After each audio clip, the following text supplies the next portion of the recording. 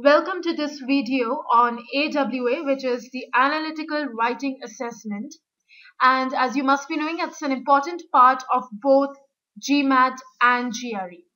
And this video is going to focus on the basic orientation for AWA. And so even if you're giving GMAT or if you're giving GRE, this video is going to be equally helpful to you. And before we go ahead and get started, you can note down our website address that is perfect-scores.com. You can send us your valuable feedback at perfectscores89 at gmail.com. And you can also like us at facebook.com slash perfectscores. So as I said, it does not matter whether you are giving the GMAT or GRE. This is a basic orientation video and that can be watched by anyone. So let us get started with that. Now, what is the AWA? You know, it is the Analytical Writing Assessment. The score of the AWA is from 0 to 6 in 0.5 increments. That means you get scores of 4, 4.5, 5, 5.5, 6, and so on before 4 as well.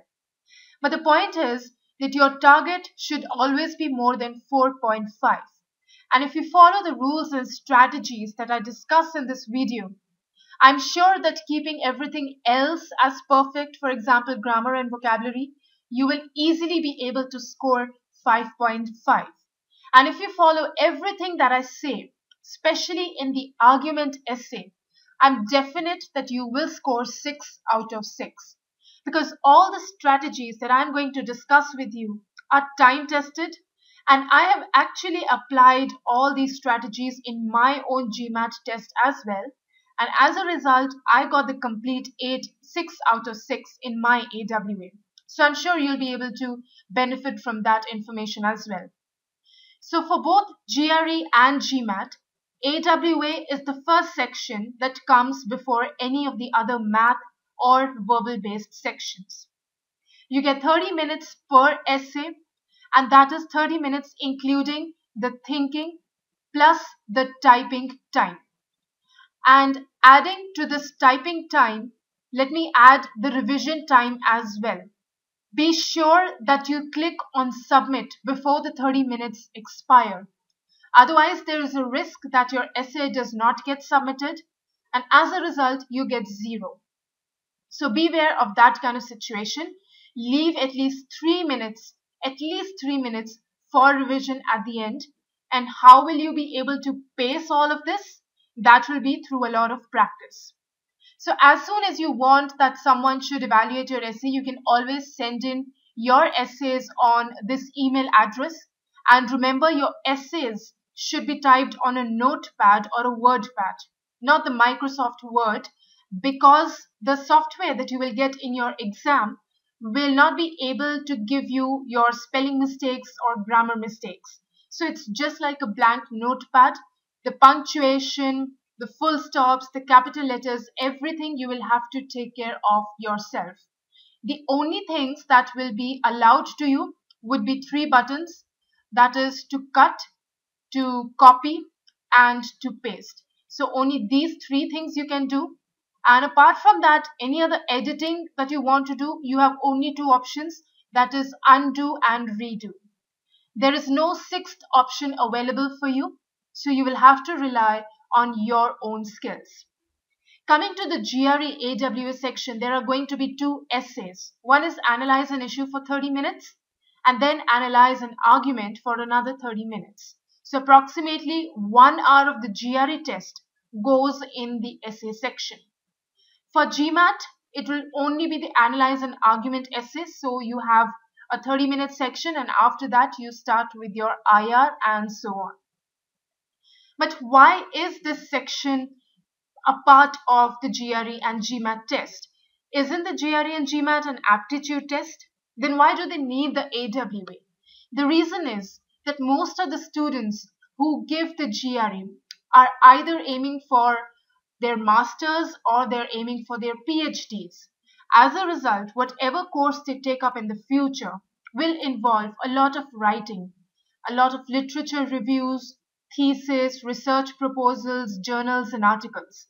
So for that, the candidates have to have a prerequisite set of skills for writing as well. So that is why GRE's essays are so important. For GMAT, however, the main skill that is tested in GMAT AWA is how well you're able to analyze that argument. Here we're not only talking about criticism, we're talking about finding some rational problems, some wrong assumptions, some uh, detrimental flaws in the argument that make it weak. So that in the future, if you are the manager and you have to send a proposal to someone, or you have to write some information and communicate it, there should not be any kind of flaws in your argument. Or if you want to dissect some other person's argument, you would be able to do that. So let's get ahead and get started with the important factors that are tested in the AWA section.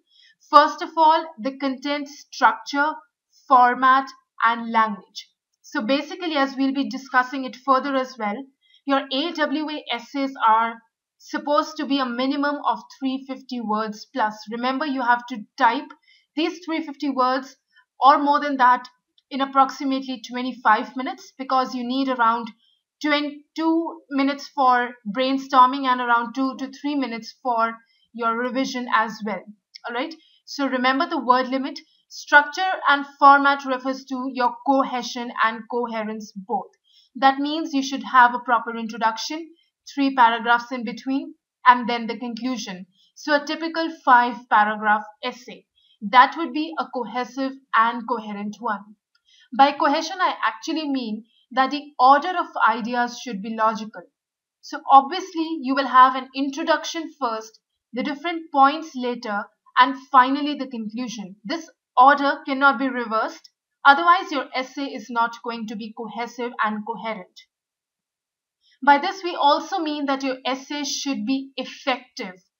That means it should have the right kind of detail as well as it should leave out repetitive phases and that is why it should be concise enough as well. So a mixture of details plus concision keeping in mind the time and the word limit you are expected to adhere to. So that is what results in an effective essay. The third important thing is the supporting evidence that you cite in your essay.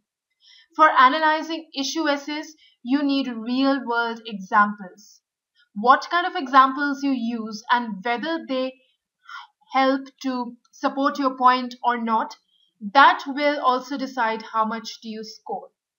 For the argument essay, the kinds of arguments you are able to build up against the argument given to you, the supporting evidence, the faulty premises, the other flaws that you can find.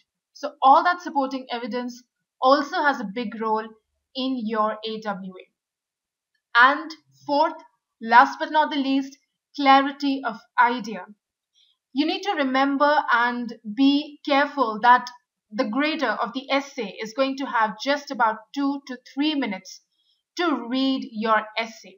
That is two to three minutes per essay and he or she will be reading so many essays on the same topic. That means that your essay needs to be very, very clear. Whatever you are saying should be very clear. An examiner should not be confused as to what do you actually believe in. After that, here are a few recommendations. Word length, as I told you, has to cross 350 words. There is no maximum word limit. The only limit is on time. So you have to be careful of that. Not get too lost in writing and typing the entire essay that you miss the point that you get only 30 minutes. Second point, write in paragraphs. Like I told you, the introduction, three paragraphs, and the conclusion. If you have time and if your speed is good, you can even have four paragraphs and then a conclusion. So overall, a five or a six paragraph essay will fetch you a very good score. The general format is that which you will be following once you watch the complete videos. Follow the format and the strategies that are discussed and there will be no problem in that. And then you have to have a look at grammar, your spelling, sentence formation. Now you may have a few spelling mistakes, but that does not mean you do not know the spellings.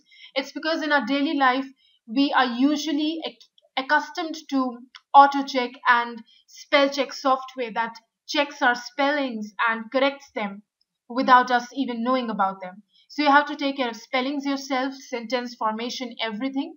And you need to show a lot of variety in vocabulary and grammatical structures. Not the same kind of small sentences. You need to show a more mature outlook towards writing. And in vocabulary, I do not mean that you have to use very high level and very heavy words, but vocabulary that is apt according to that particular topic. But how is the essay actually scored? So there are going to be two graders. One will be a human grader. The other will be an e-grader. That is a software that's going to grade your essay. So these two, one software and one grader, they are going to give you a score out of 6. Let us suppose the human grader gives you 4 and the e-grader gives you 5. The end result that you will get is 4.5 and usually the human grader and e-grader are completely compatible so you will not have diverse diverse uh, scores such as human grader giving you 2 and e-grader giving you 6 so this kind of situation does not happen.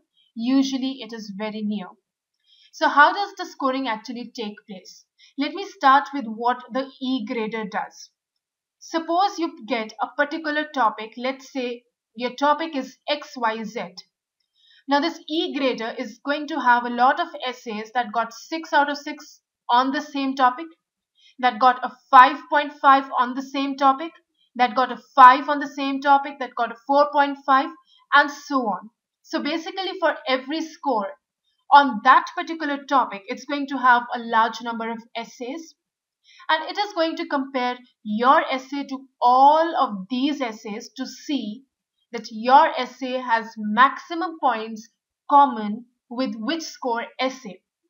Suppose your essay has a lot of things common with these particular essays or these groups of essays. So the E grader is going to give you a 5.5. Similarly, if your essay has a lot of things common with the 6 out of 6 essay, it will give you a score of 6.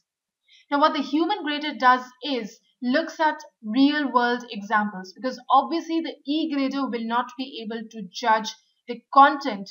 It basically focuses more on your structure, your formatting, your grammar, all those concepts of writing. And human graders also have this little pressure going on in their mind that they have to score as near as possible to the e-grader so that both of them are able to give you a compatible score. For example, this situation.